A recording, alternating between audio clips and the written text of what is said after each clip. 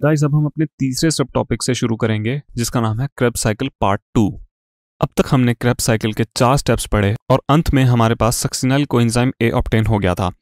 तो step five में substrate level phosphorylation होती है। इसमें यह होता है कि सक्सिनल कोएंजाइम ए कन्वर्ट होता है सक्सीनेट में, या फिर सक्सेनिक एसिड में।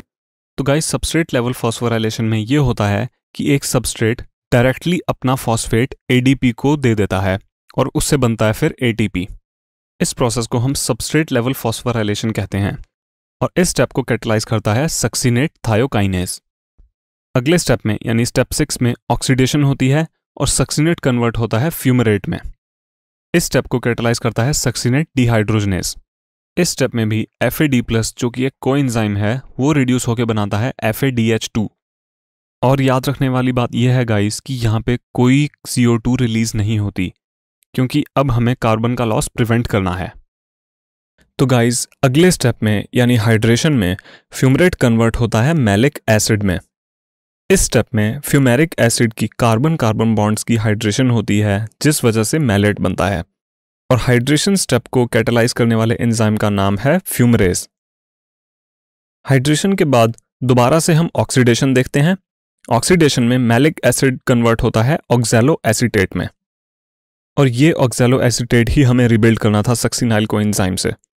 तो जैसा कि स्टेप सिक्स की ऑक्सीडेशन में हमने देखा था, इसमें भी एनएडी प्लस रिड्यूस होकर एनएडीएच का एक मॉलिक्यूल बना लेगा। और इस स्टेप को कैटेलाइज करने वाले एंजाइम को हम कहते हैं मेलेट डिहाइड्रोजनेस तो गाइस हमारे पास फिर से एक ऑक्जेलो एसिटेट का मॉलिक्यूल ऑप्टेन हो गया है, जो कि हमारा टीसीए साइकिल का दूसरा गोल था। अब ये ऑक्जेलो एसिटेट दोबारा किसी एसिटाइल सीओए के साथ मिलकर टीसीए साइकिल को स्टार्ट कर सकता है। टीसीए साइकिल को हम इस इक्वेशन से समराइज कर सकते हैं, जो कि हमारा टीसीए साइकिल का दूसरा गोल था। अब ये ऑक्जेलो एसिटेट दोबारा किसी एसिटाइल सीओए के साथ मिलकर टीसीए साइकिल को स्टार्ट कर सकता है। टीसीए साइकिल को हम इस इक्वेशन से समराइज कर सकते हैं तो इस इक्वेशन से हमें यह समझ आता है कि टीसीए साइकिल में कहाँ कहाँ कितनी एनर्जी बनी है।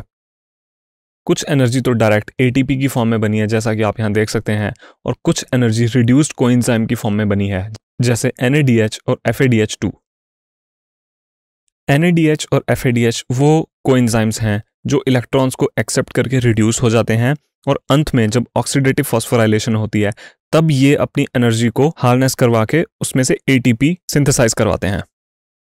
NADH होता है निकोटिनामाइड एडेनिन डाइन्यूक्लियोटाइड एफ़ होता है फ्लेवन एडेनिन डाइन्यूक्लियोटाइड और एटीपी जैसा कि हम सबको पता है, होता है एडिनोसिन ट्राइफॉस्फेट तो गाइस आप सब ये सोच रहे होंगे कि हम एरोबिक रेस्पिरेशन पढ़ रहे हैं और अभी तक कहीं भी हमने ऑक्सीजन का ज़िक्र नहीं किया है।